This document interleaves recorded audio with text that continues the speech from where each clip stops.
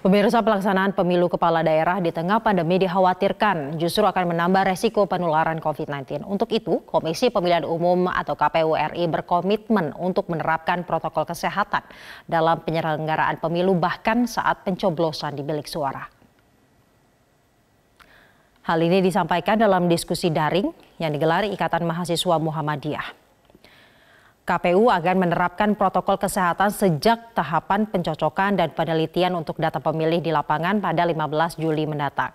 Aturan ini tertuang dalam peraturan KPU nomor 22 tahun 2020 yang mewajibkan seluruh penyelenggara pemilu di setiap tingkat untuk menggunakan alat pelindung diri atau APD dan membatasi aktivitas fisik Komisioner KPU Firian Aziz menambahkan saat pencoblosan di hari pemungutan suara jumlah pemilih di setiap TPS akan dikurangi menjadi 500 orang dari sebelumnya 800 orang.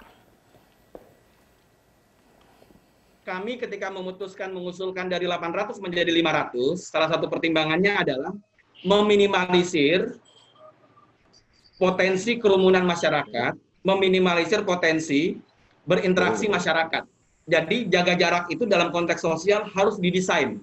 Tidak bisa kita semata-mata bilang masyarakat eh, warga ayo kita jaga jarak nggak bisa, tapi harus didesain. Nah, salah satu contoh bentuk desainnya secara ekstrim kami merubah dan disetujui dalam rapat RDP dari 800 per TPS menjadi 500